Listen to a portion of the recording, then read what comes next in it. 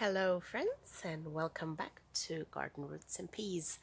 I am back in my polytunnel and I simply can't believe we're closing in on Christmas already. It feels like summer in here. The greenhouse is at 35 degrees Celsius right now. It's really really warm and it's sunny and everything is lush and green and growing. And right now, I wanted to share with you the things you need to do to take care of your polytunnel in the winter. Well, in this case, right now, the only thing that is important is ventilation. That's my dog barking because she hears a siren. So, ventilation is key right now because it gets so hot in here the plants could easily wilt or easily have a, a heat stroke really. So you have to open the greenhouse every single day. I actually keep it open through the night as well even though it gets cold because if you don't open it you get condensation. See there's a lot of moisture kept in the greenhouse. So ideally you don't want to have this. You want to get rid of all the extra moisture in the greenhouse. Also very important on these hot sunny days is watering. Your plants even in winter need a lot of water. So i usually water my plants very sparsely in the winter. Every two to three weeks if it's cold and even then I water my greenhouse on a very warm and sunny day with no frost in forecast.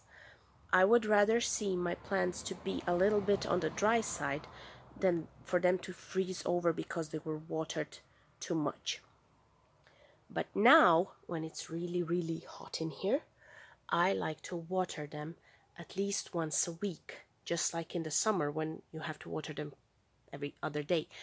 But now they get a really, really thorough deep watering once a week so the plants can grow normally.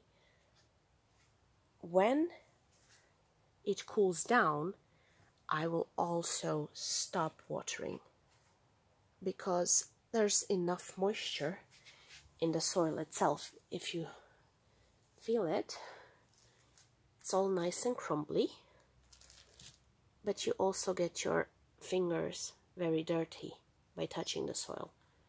That's ideal. It's not soggy it's not muddy. It's just nice and moist.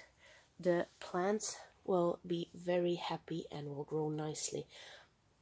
If they have any extra moisture they will get rid of it all by themselves with these little droplets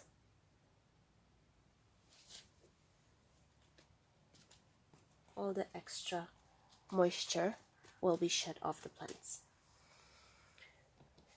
If you have a lot of snow, you have to clean the top of your greenhouse. Not just for the sheer weight of the snow, but also to let in the light. Because in the winter time, not much light comes into the greenhouse because days are very short. I will also be removing this shade cloth.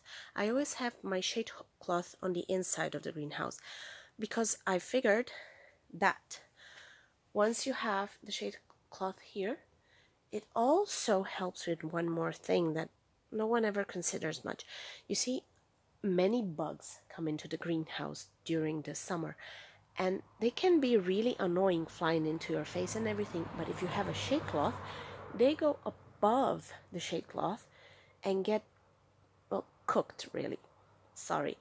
And they die. And when they die they fall onto the shade cloth and not onto you. So we've talked about watering. We've talked about ventilation. We've talked about snow and shade. That's really it you don't have to do much more than that.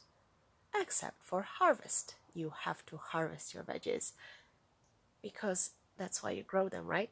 Well, that's it for now. Thanks for your attention.